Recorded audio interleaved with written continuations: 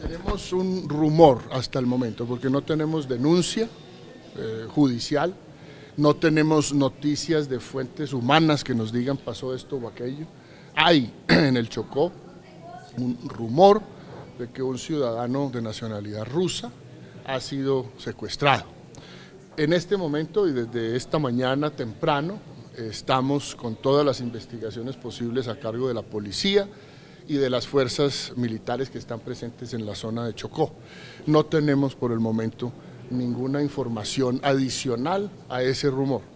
En la medida en que la tengamos, se las estaremos contando. No hay ni siquiera hipótesis probable por el momento.